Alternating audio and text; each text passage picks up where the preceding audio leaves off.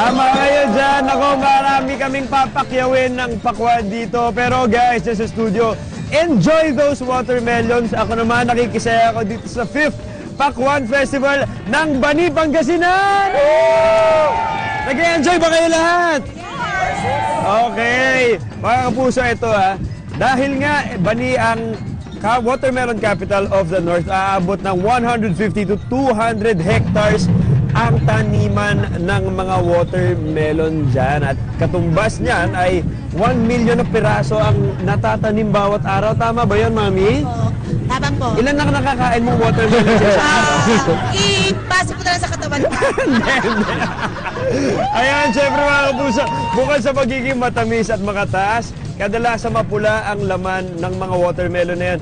Pero ito ang hindi ko alam at ngayon ko lang nalaman, marami palang variety ang mga watermelon na yan. Kaya kasama natin si Sir Jeffrey Pamo, ang Municipal Agriculturist ng official ng Bani, para para i-explain sa atin yung iba't ibang varieties of watermelon. Sir, ano po ba yung mga iba't ibang klase ng So, watermelon? nandito, Wanjo, yung mga iba't ibang klase ng ating watermelon na Yes. tinatanim dito sa Bani. Una rin is yung ating apple melon. Apple melon, yung maliit, parang, yung pinakmaliit na oo. watermelon. Then, we have the honeydew. Honey, Yung crunchy type yung flesh niya. crunchy type. Yes. Wow! Then, we have the open pollinated variety. Then, jaguar. Jaguar. Yeah, ito yung naman yung Yelisissimo, kung saan ay yellow flesh siya. Oo, Yan yung sinasabi ko. Hindi pula ang laman ng watermelon, no? Then, yung Diana natin. Diana, Diana. jaguar. Diana, Oo. Jaguar ulit. At itong ating mga hybrid varieties na kung saan tumitimbang sila ng 10 to 20 kilos. 10 to 20 kilos. Yes. Ito, ito na yung pula yung Ah, laman. Opo, pula na siya lahat. Itong buffalo, Buffalo. ah, factor, and China baby na klase ng China pakwan namin dito sa Bani. Mga magkano inaabot po per kilo ang isang Ah, watermelon? ang price range, price range natin dito sa Bani is around 20 pesos to 50 pesos depende sa variety na uh, bibilhin ng ating mga consumer. Oh, so wala na kayong ano, ano pa masasabi niyo tungkol sa Ah. watermelon na to? Uh, isa pa rito yung sa watermelon namin sa Bani, ito na ito yung sweetest ah, watermelon. Wow! Uh, kami yung nagpo-produce ng pinakamatamis na bani dito sa North. Eh, ang mga taga ba ni iba, sweet ba kayo? okay. Ito, paano ba malalaman kung hinog ang isang watermelon? Ah, usually, ang usual practice na ginagawa rito is tinatap yung watermelon natin. So, Oh, kung yeah. parang hollow na yung kanyang sound, Oo, pag wala ng ano. oo, Hello? Ah, tatapatan ko ng mic. O, sige, sir. Ayan. oh, so yun yung isang ah, technique na ginagamit rito para malaman kung ah, hinog na yung ating, Hinog na. ating watermelon. Subukan ko nga sa ulo ko. usually, dito sa Maykwan, lalamunan. Hinog na rin. Hinog na rin yata yung ulo ko.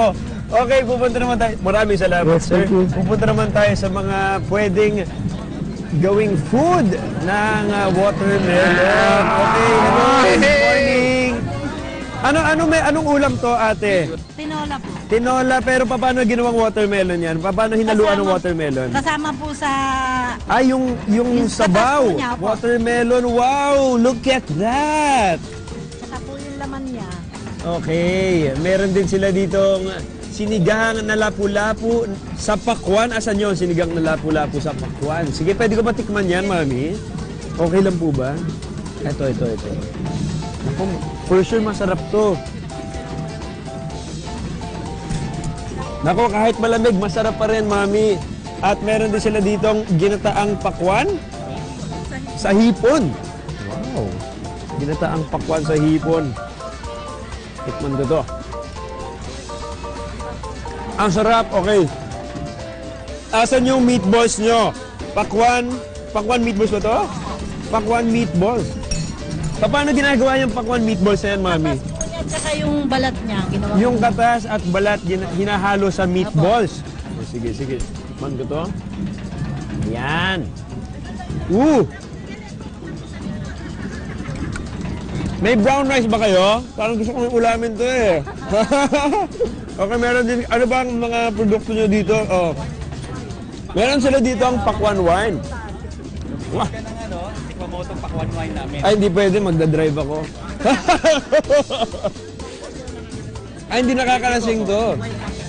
Wine lang yan, sir. pero, uh, base. Okay.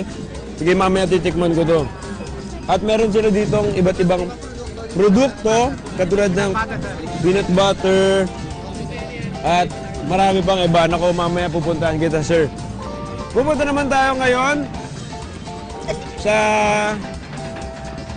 Katulad ng sinabi ko kanina, i-highlight ko ngayong umaga ang paghiwa ng pakwan. Alright, nandito tayo ngayon.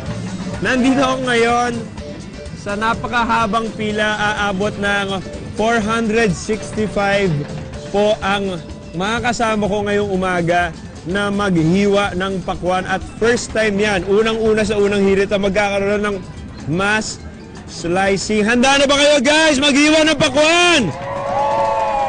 Ready ready na! Pakwan na pakwan na! okay, 3, 2, 1, go! Ano yung technique dito, Mami? Ito lang, kuhain mo siya pag ganyan. Okay. Okay, sige, sige. Subukan ko yan. Ayan. Ganyan lang. Parang naghihiwala ng apple. 464, 464 pieces po umabot ang pakwan na may hiwa ngayon. At umaabot sa 100 meters ang kawayan table. And 4 slices per pakwan po. At ang mga type ng pakwan na hihiwain namin ay Buffalo at Jaguar variety. Ayan. Sige. Aha. Eto. Kamusta yung paghiwa ko, ate? Ito na, ito na, ito na yung nahiwa ko. Okay. Okay ba? Mamaya mga kapuso, titikman namin at makikisalo ako dito sa mga tao na nandito ngayon. Sa nakikita nyo, sobrang dami na po na nahihiwa at aabot ng nako 1,856 slices po. Mamaya titikman namin at uubusin namin lahat yan mamaya sa pagbabalik ng inyong pambansang morning show kung saan laging una ka ang unang hirit!